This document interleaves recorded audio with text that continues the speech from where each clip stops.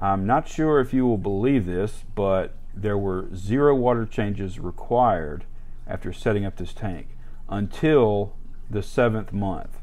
I did do a water change just in case something unknown was building up in the water. At this point, some of you may be freaking out right now, saying, What? You only did one water change for the whole year? How dare you? Your fish deserve better. If this is you, let's just simply take a deep breath.